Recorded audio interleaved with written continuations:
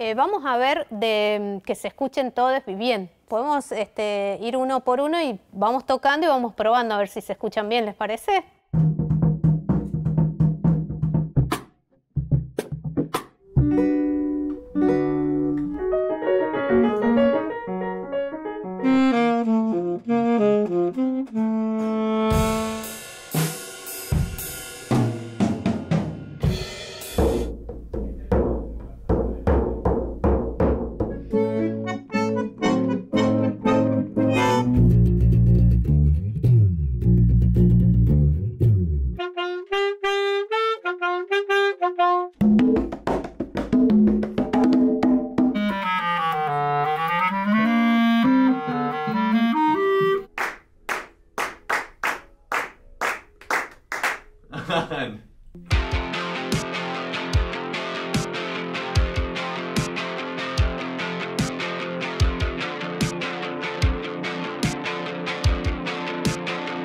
Tienen que chequear afinación, guitarra.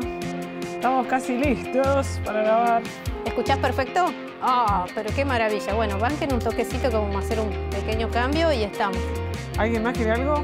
Hacemos, sí, sí, hacemos dos más, eh, una, dos, tres más cuando, hasta que estemos cómodos. ¿Me escuchan? ¿Podemos pedir que salga la gente de cámaras de adentro si hacemos una toma? Se escucha re piola, ¿eh? Bueno, muchachos, ¿vamos?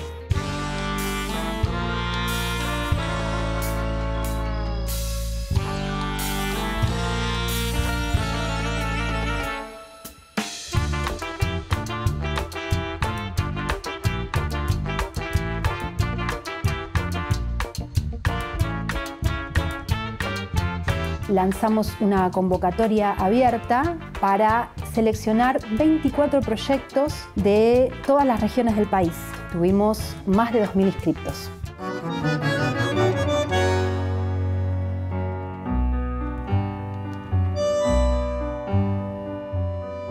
No le temo a la muerte, es el olvido el que mata.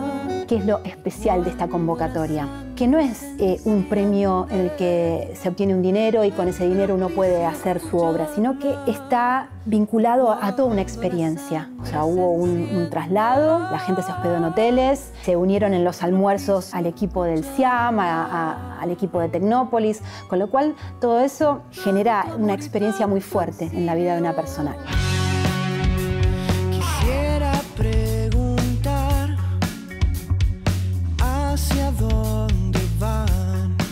Muchos casos, también lo que sucedía era la primera vez que pisaban un estudio de grabación de las características del CIAM.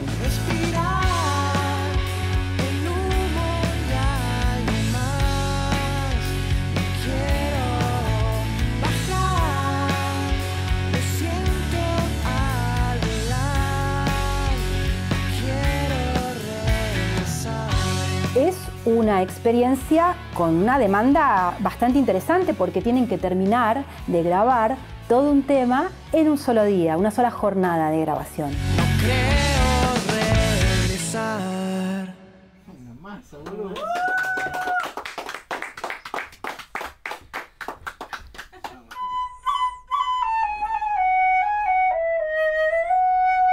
Como en estos procesos que están sucediendo acá de grabación, con las personas, digamos, nos, conocemos acá en el estudio, digamos, ¿no? Por más que previamente hicimos un Zoom, ¿no? Como para, para por lo menos entender en qué órbita estaba cada una con respecto a la producción de la canción. Hicimos un, Zoom y estuvimos hablando un poco de, esta experiencia y por suerte vino con, una, con la mente súper abierta, escuchando todos los cambios que uno por ahí sugiere y que el artista toma o no, pero por lo menos eh, está ese diálogo.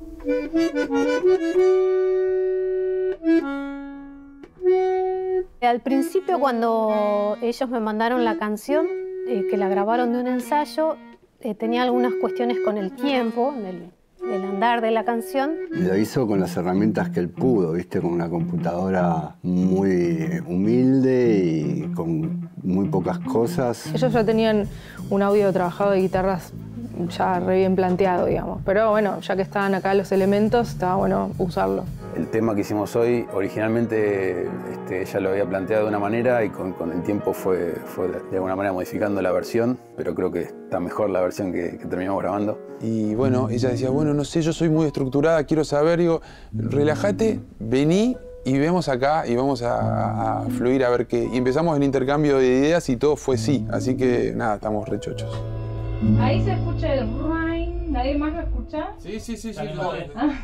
Ay, si significara algo más que un amanecer lado a lado renaciendo.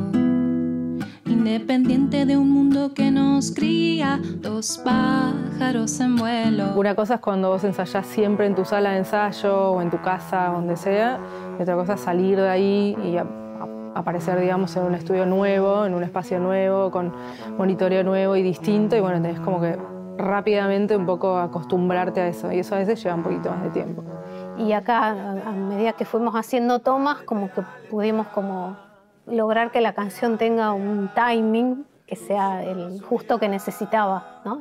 hicimos un par de, modificaciones que tenían que ver con, con, más que todo la letra o cómo se decían algunas palabras. Mejoramos lo que ya trajo, lo resumimos, lo pulimos y va a quedar bueno. Cuando lo veas al barquero te pedirá dinero para hacerte cruzar. Para las almas de los héroes llegar a Finisterre es el mejor final. Como naciste en Barranqueras, tu barquero es canoero y aqueronte del Paraná. Juntos se pierden río abajo y el reloj en su trabajo ni amaga descansar. Estamos grabando un candombe. Son una banda de punk. Punk simpático. Una cosa media urbana, pero a la vez pop. En este caso es un ritmo que se llama el pim pim. Es un ritmo bastante popular en Bolivia y en, el norte, pero acá no se escucha, digamos. Acá tenemos el carnavalito como un poco más, ¿no? Ahí van sus manos, no le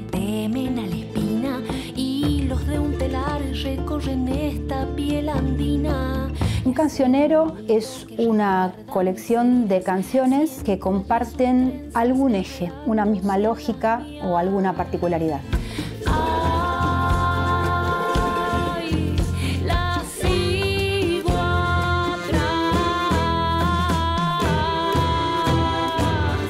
cancionero, en este caso, es una panorámica sonora y musical de lo que está sucediendo en el país en este momento.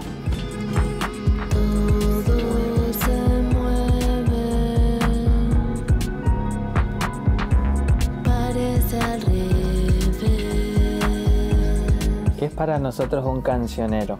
Un cancionero un grupo de canciones. Un álbum de canciones. Muchas canciones. Y que se agrupan por alguna característica. Eh, donde no necesariamente eh, responde a un único estilo de música.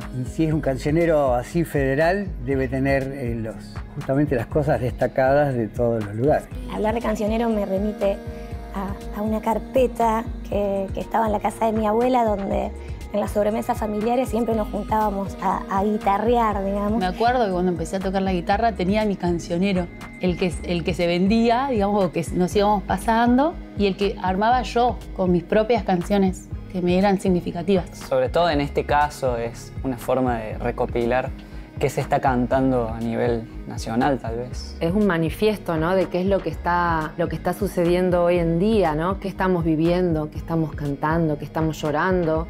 Hay que ponerse y, decir, hay lesbianas, no binarias, músicas que están acá queriendo representar a alguien que quizás todavía no encuentra esa voz.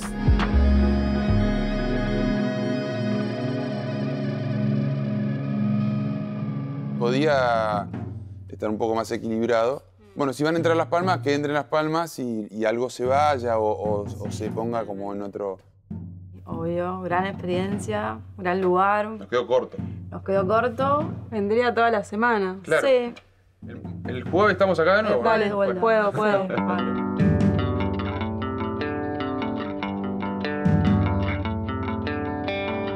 Estás acá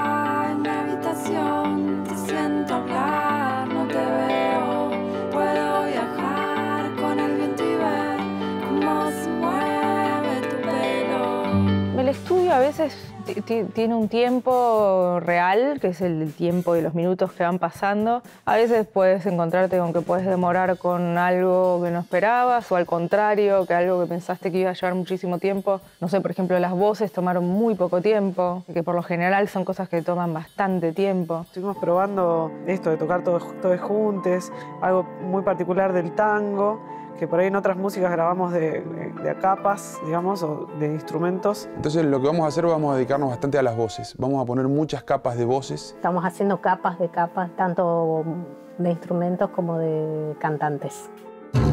En un boceto, un mapa desteñido, una cruzada larga con la que paso el día. La parte difícil podría llegar a ser cuándo parar, cuándo decir, esta es, la, esta es nuestra toma. Me pareció buena idea en el peor momento. Yo avanzo rota frente a la realidad del miedo y la red. El asunto con las canciones es que siempre hay cosas para hacer. Digo, uno tiene que en un momento decir basta y dejar de hacer porque no es lo mismo hoy o dentro de una semana o dentro de un mes. El estado de ánimo cambia, la energía cambia. Entonces uno tiene que en un momento decir, bueno, renuncio a esto, la, la largo, eh, suelto. Vamos a los arreglitos precisos y después si querés, agarra toda la canción y tirá, tirá data. Tirá data. Dale. Eh, para mí el desafío a veces de las grabaciones en vivo es que no se te pase esa magia que sucede en un par de tomas y que después pues ya no suceder. Y que eso que uno quiere captar de lo espontáneo, por más que sea en vivo, empieza a sonar a, a tomas cansadas. Che, mortal. ¿Sí? Sí, Estamos sí. acostumbrados a que las cosas estén muy, muy editadas y muy perfectas y muy precisas y afinadas, yo qué sé, y cuando uno se pone muy obsesionado con eso, por ahí pierde errores, entre comillas, o, o- o, este, accidentes eh, o cuestiones que ocurren inesperadas que en definitiva eh, juegan a favor y enriquecen más lo que uno está escuchando, ¿no?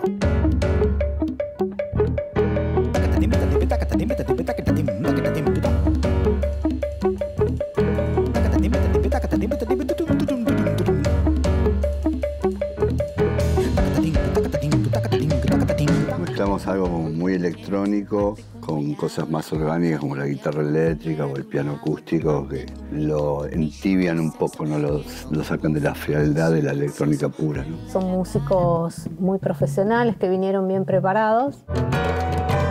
Si estuvieras aquí, te mostraría cosas que solo en persona te das cuenta. Por ejemplo, De la sombra al salir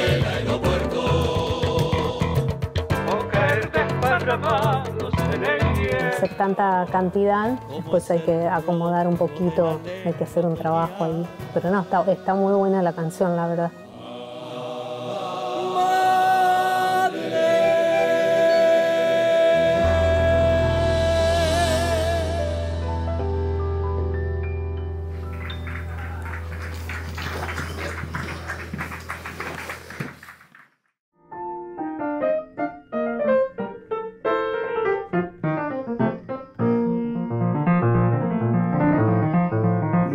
Siempre tenés un piano de esta calidad y todo el mundo termina usando cosas virtuales y nada que ver. Cada vez la tecnología se acerca más, pero nunca va a superar a lo que es un instrumento acústico.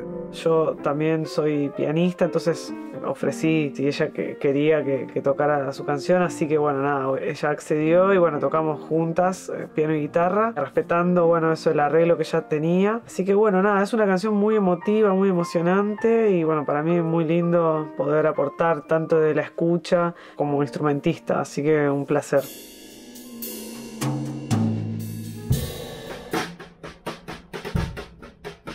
Cuando grabamos batería siempre tratamos, sobre todo en un estudio tan lindo como este que tiene muchos metros cuadrados, de grabar el aire, grabar el sonido de la sala y como el sonido de la sala es muy lindo, este, está bueno tenerlo registrado.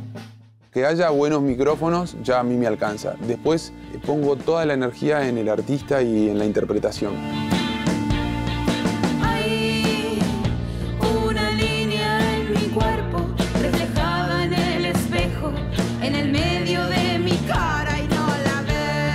Guitarras eléctricas uno las puede grabar por línea, eso significa que no pasás por un amplificador, sino que pasás directamente al preamplificador, que es lo que le da ganancia al audio. Cuando tenés dos amplificadores iguales, puedes sumar aún más la podredumbre, digamos.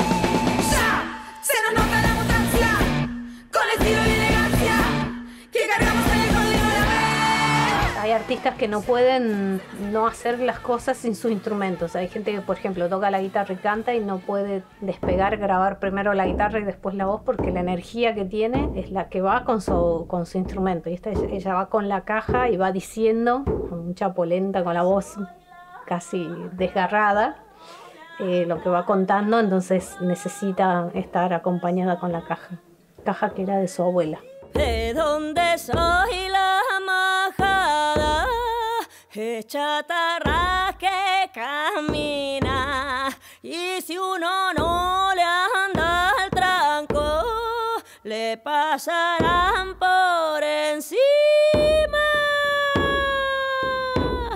Tal vez lo que busquemos es, con esos micrófonos que están alejados, como dar una sensación de lejanía, ¿no? Como yo siempre me imagino una coplera en una montaña cantando, ¿no? Entonces eso se logra con micrófonos como más de que toman el ambiente. Nuestra injusta justicia.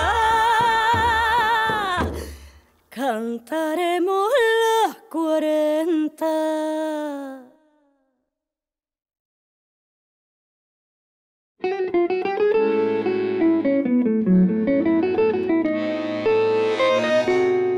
Decidimos que graben juntos y que graben en vivo y que no haya separación entre ellos para poder captar al máximo posible eso que pasa entre ellos dos, que tal vez en, otro contexto podría llegar a ser a pensarse como error y en este caso es todo lo contrario. En general las grabaciones de tango son como que se respetan mucho como la toma, es como una foto a lo que sucede. En otras músicas tal vez es más como una especie de puesta en escena o que es más como un audiovisual, es como vos haces la película, te haces todo un montaje.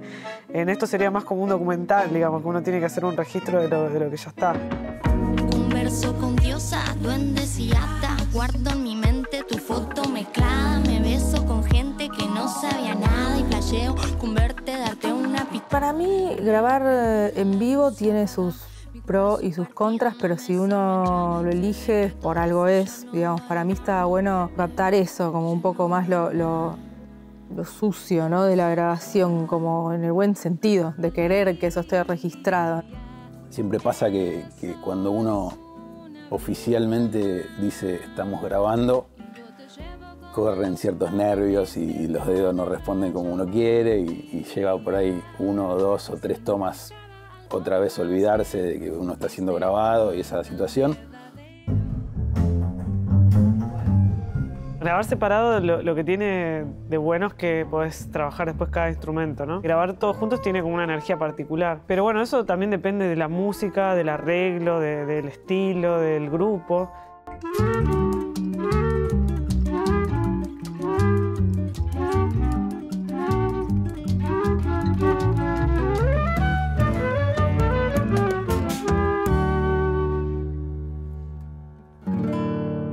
Grabamos por separado, grabamos batería y percusión primero, después grabamos eh, unas guitarras de base, grabamos charango y ahora estamos por grabar las, voces y después vamos a grabar todo lo demás, que, son los, como los colores que se empiezan como a sumar. Sí, estamos grabando todo por separado. Recién hicimos la batería, incluso fills de los toms los grabamos aparte, por ejemplo. Las guitarras se graban aparte y así.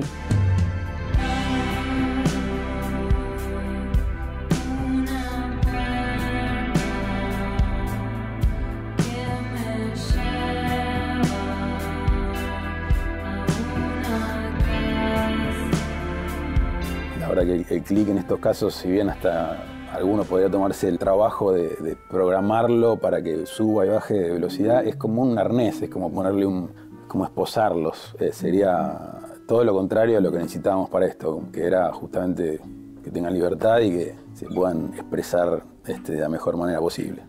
Háblame silencioso en el fondo. Háblame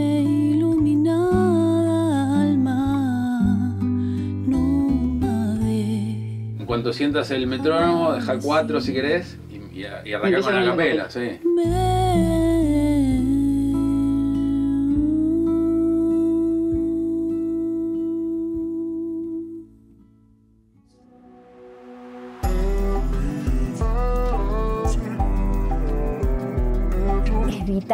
La participación de los productores y las productoras que son los y las que van a asegurarse de que se llegue con el tiempo a realizar una canción con todos los condimentos que, que esta tiene que tener.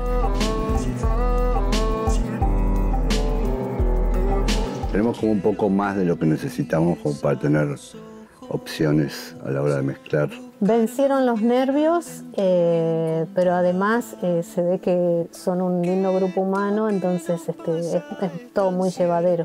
Y también, nada, me siento como un poco o bastante orgullosa de, de- de poder ver que gente joven está haciendo tango. Estoy como un poco medio aburrida de decir tango nuevo, tango nuevo, tango nuevo, porque ya tango nuevo es tango que es- no es tan nuevo. Para mí lo, lo más poderoso es la valentía de sacar las canciones de adentro y nada, y mostrarlas. Eso ya es un acto de, de- de valor tremendo.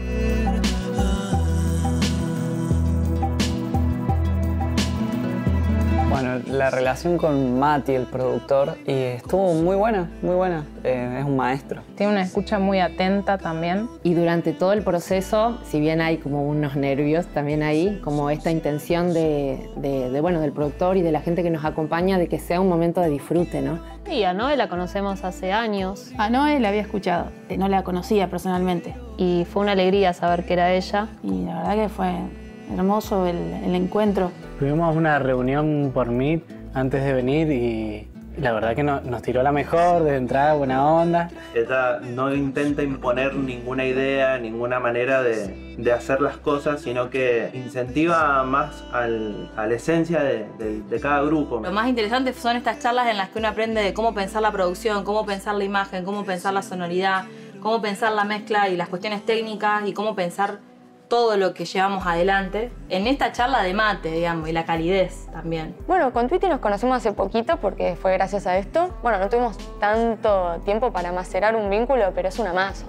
Tweety es bien directo y las ideas que, que va aportando me parecen bastante correctas. Bien el trabajo con, con Tweety y la verdad es que para mí es un placer enorme poder tener la oportunidad de, de- de trabajar con él. Eh, compartimos un ida y vuelta con, con Tweety, en donde él bueno, nos explicó más o menos qué veía él en la canción que habíamos enviado. La relación con la productora fue buenísima desde el principio, desde los mensajes a distancia. Con Coti nos conocimos eh, por WhatsApp, digamos, en la distancia. Connie una masa, súper agradable y, y atenta, estuvo en lo justo. En todas las preguntas que tiene uno y las dudas, y que oh, tranquilo, como que llegó a fumar. De alguna manera creo que congeniamos bien, nos entendimos rápido. A Lucy no la, no la conocía cuando me dieron su nombre, me la stalkeé, viste, más o menos me, me fui enterando de quién era, escuché su música. Yo sabía de Lucy Patané eh, como música. Y cuando hablé con ella, hablamos por una reunión de Zoom, hicimos ahí un clic de estilos y fue como una confirmación también de que iba a funcionar.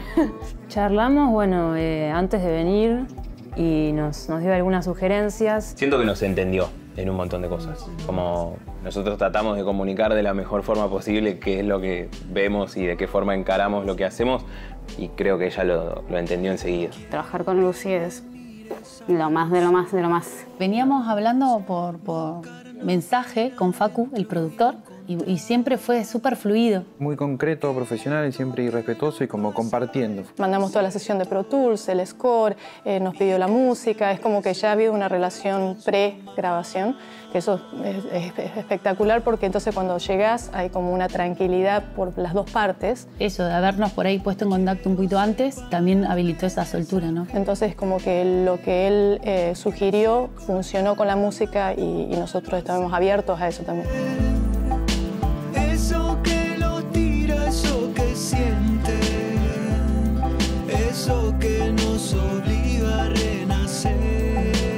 El trabajo de un productor artístico es tan variado como los perfiles y las personas y los proyectos que haya. Mucha gente piensa que el productor es el que te va a llevar al, al éxito, al estrellato. Me parece que es importante saber primero uno qué quiere de un productor o qué está buscando o qué te falta. Podríamos definir dos elementos o dos universos marcados que son tal vez la parte musical y por ahí la parte más, de, más técnica o más de producción. Para mí tiene que ver mucho con el feeling y, con tratar de entender qué es lo que quiere el artista. Entonces eso tiene como mucho ida y vuelta con el artista. A mí me gusta trabajar más así.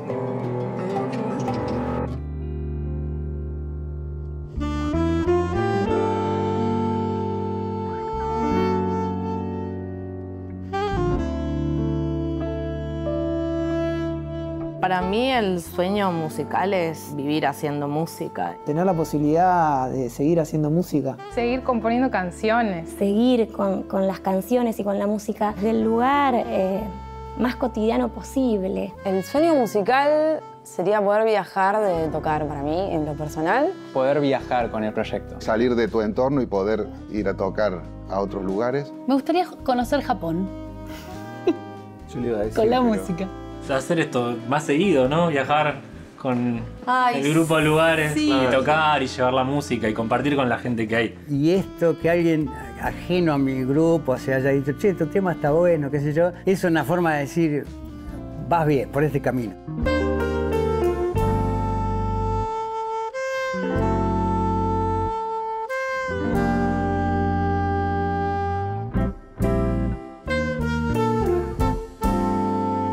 Experiencia esta convocatoria, no es nada más ganarse un premio. Viene acompañado de, un crecimiento profesional porque este, engloba muchos aspectos.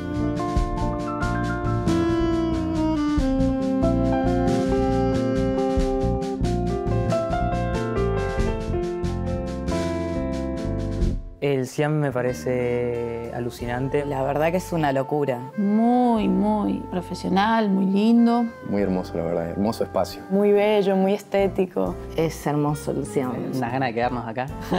Nunca había estado en un lugar así tan dedicado al arte. Quien tenga la posibilidad de venir a grabar acá, que lo haga porque no se va a arrepentir. Estar acá también es un logro y, un- y una remotivación. Cuando llegamos era una de abrir bocas de sorpresa. Tremendo contar con todo ese equipo. Todo eh, lo, que, lo que rodea el estudio, bueno, el grupo humano. Nos han tratado muy bien ahí en la comida, nos han servido, nos han puesto a disposición el espacio. Simplemente agradecida por, por la experiencia y que les haya gustado mi canción, es muy loco. Bueno, gracias. Gracias por, por la buena onda, por recibirnos. Muchísimas gracias a todos y todas eh, por esta oportunidad y por este momento.